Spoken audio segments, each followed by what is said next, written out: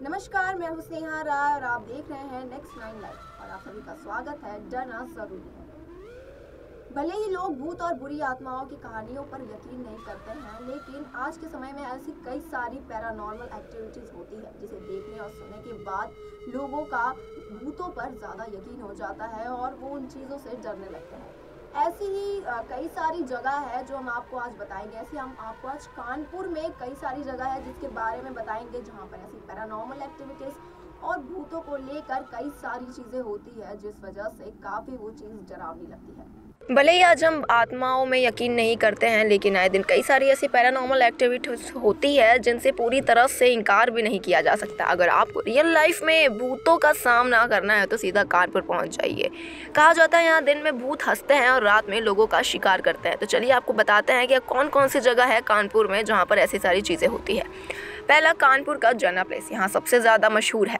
ये प्लेस रतनलाल में मौजूद है, अगर आपको रियल लाइफ में भूतों से सामना करना है तो इस प्लेस में आ जाइए। इस प्लेस के बारे में कहानी है कि दो, कुछ दोस्त यहाँ घूमने आए थे। इस दौरान वहाँ लोग एक जगह पर बैठ गए।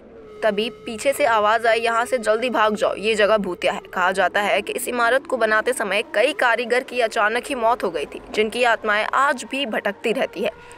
कानपुर का सिविल लाइंस, ये दूसरा जगह है, कानपुर का सिविल लाइंस, ग्रेवयार्ड में भूतों का डेरा लगता है। यहाँ रात को छोड़िए, दिन में ही स्थानीय लोग जाने से डरते हैं।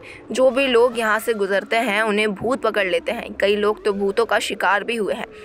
सिविल लाइंस ग्रेवयार्ड के बारे में कहा जाता है। रातों में यहाँ से गुजरने वाले लोगों को भूत दिखाई देते हैं और डरावनी आवाज़ें भी आती है। आए दिन यहाँ पर कई सारी दुर्घटनाएँ होती है। शाम होते ही यहाँ लोग जाने से कतराते हैं।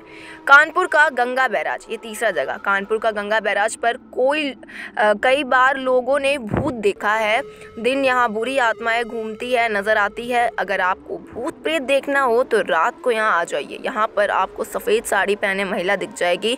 स्थानीय लोगों की माने तो यहाँ पर कोई अदृश्य शक्ति है जो परेशान करती है। आए दिन यहाँ से गुजरने वालों को कभी ना कभी जो भी वहाँ से गुजरता है, वो सबको परेशान करती हैं। फ़िलहाल के लिए इतना ही। ऐसे ही खबरों के लिए और ऐसे ही कहानियों के लिए देखते रहे next nine life good bye